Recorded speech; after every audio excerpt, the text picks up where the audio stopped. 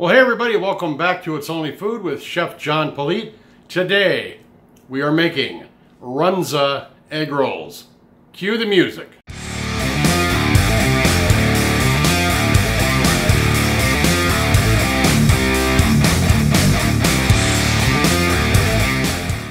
All right, well, thanks a lot for tuning in to It's Only Food with Chef John Politte to watch us make some Runza egg rolls.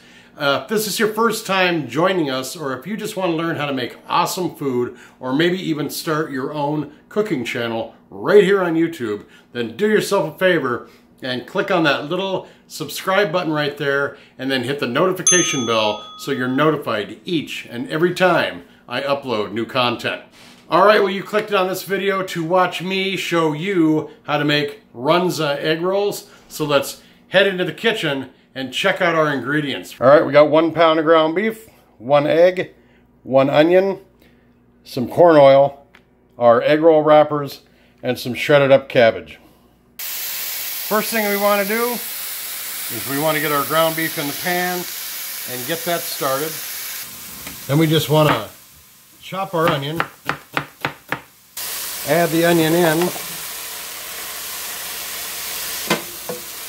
And we're to cook all that up while I tell you more about what Runza is all about. All right, well, I first heard of Runza when I was doing research for the state of Nebraska and what they eat there. Uh, one of the activities that we were doing was to do states around the United States, and we ended up on Nebraska. So I looked it up and found Runza, saw that it was easy to make, easy to do a chef demo about and that's when I fell in love with the Runza because I do like them now. There's all types of different kinds of Runzas. They've got all kinds of different names from, uh, let me check out my list here. Uh, B-Rock, Krautburger, we got a Fleisch, I don't know how to pronounce half this. We got the Fleisch and Kusch, Kraut Pirog, and my favorite is the Nebraska Hand Warmer. There's also a restaurant down in Nebraska, chain of restaurants, uh, that has a menu full of different varieties and kinds of runza. And they also come in different uh, bread, different shapes, and different sizes and different varieties, like we said. And of course, being it's only food, kind of wacky, we're doing our own twist on it. And we're going to be making runza egg rolls, which I think will be pretty dang good. So let's get back in the kitchen and cooking. All right, I've got the lid off now. I'm going to just check out where we are in the cooking process of this great runza, get the light just a little bit closer. There we go. Uh, going to continue to brown this off and make sure it's cooked to a 165 degrees.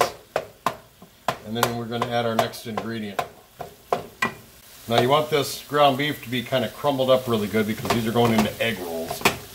So I'm going to smush this all up, make sure it's nice and ground up.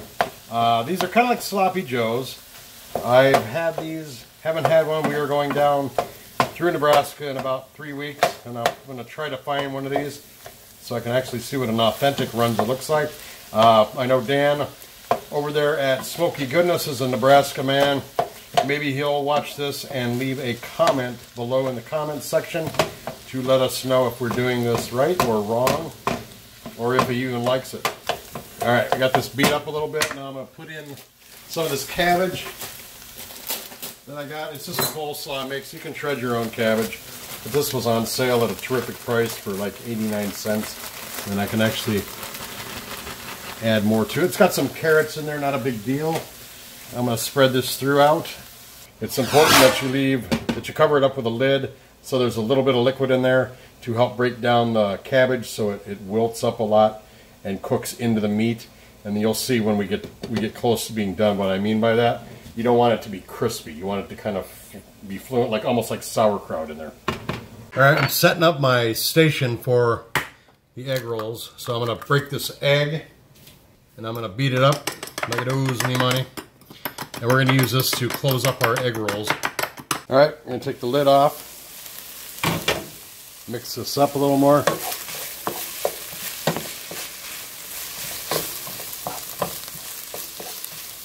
Really not going to add much in the way of seasoning to this, except for a little salt and pepper. I am tempted to use my Szechuan seasoning this to make it oriental.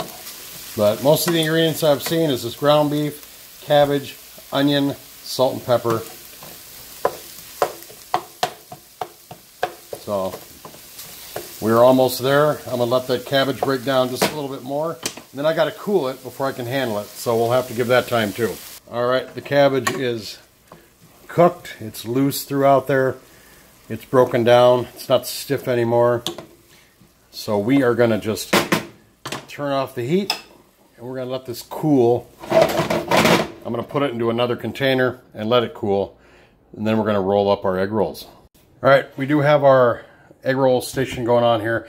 The uh, contents of the egg rolls are in the freezer cooling off the beef that we made. But we've got our egg wash there, which we're going to use to put on the tip when we roll up our egg roll. And we want that to uh, seal onto the egg roll that we roll. Make sure that you have a dry surface. There's no water.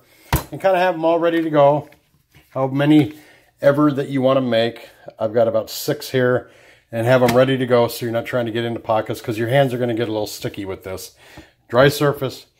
Have everything ready to go. Have your egg wash, cornstarch, uh, whatever you want to use to um, have the egg roll adhere to the egg roll when you roll it up to the tip, as you'll see in the oncoming video. All right, we are ready to go. I have my egg roll. I have my runza meat and cabbage. And I've got my egg wash all ready to go too. So what we're going to do is you lay it at a, at a not, you don't want it square, you want it like this because you're going to be rolling up this way. So I'm just going to take out enough of this loose meat here. That's another name too, is loose meat sandwich. Uh, and then you're going to take and fold that over. And you want it to be nice and tight. So that's pretty much all you do. I got a spoon here. I don't have a paintbrush. That's kind of the best thing to use. I'm just going to put a little bit of that egg wash on there and roll that up. And there you go. You can make these as big or as small as you want. You can actually use two egg roll wrappers if you want to. But the smaller they are, the quicker they cook. So I'm going to finish these up and we'll get to frying. Here are the egg rolls that I just rolled. I got five of them out of that little bit.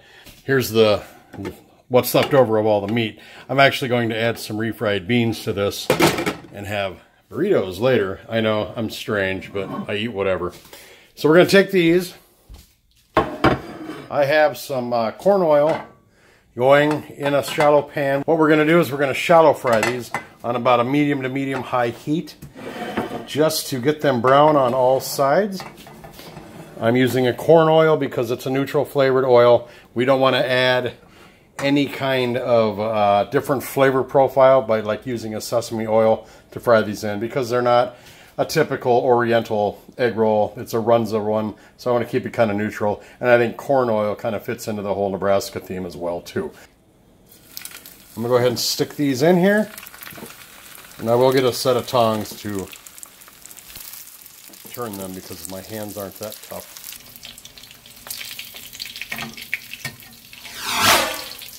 Remember, have enough oil in here so they do shallow fry.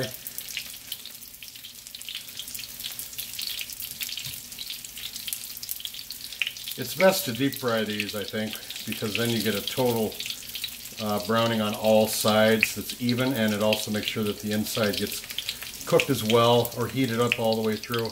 But these are nice. These are smelling fantastic already. So I'm going to go ahead and continue getting these brown on all sides. And you want to make sure they are brown on all sides, otherwise you're going to get a gooey taste when you go to bite into them. So I'm going to make sure these are brown on all sides and everything's crispy. And then I'm going to throw them on a plate, take a ton of pictures for it for social media, and then I'm going to come back, throw those pictures on the timeline for you to enjoy with some groovy music. And then we're going to taste them and say goodbye.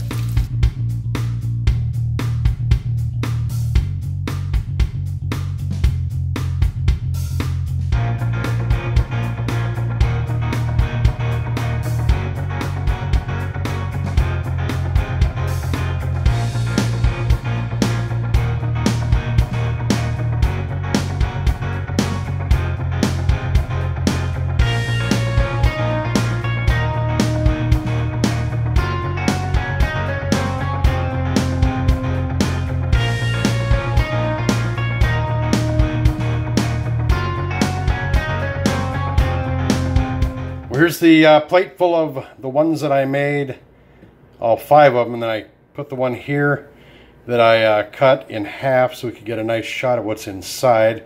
I'm going to set up the tripod, and then I'm going to try one out in this mustard right here, and then we'll see what it tastes like. All right, there is, get some of that mustard up there. There's the Runza egg roll, a little bit of mustard on there. I'm going to try this out. It tastes like an egg roll because of the shell, and I love that shell that's deep fried in the oil. And then you can taste the mustard, of course, with that ground beef and cabbage in there. It tastes like an egg roll with all the different ingredients like an egg roll has.